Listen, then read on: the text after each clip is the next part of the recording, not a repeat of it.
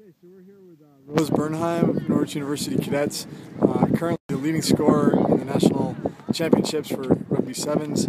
Uh, so, Rose, um, what do you contribute your success on the field today uh, to?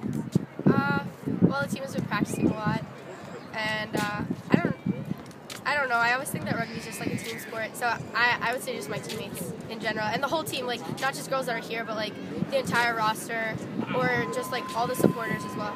So. And you had four tries in the first match against Oregon State, and you had two more in the second match. Is that correct? Uh, I, I think it was just one in the Oh, second just match. one in the second. How, how did that try come about for you?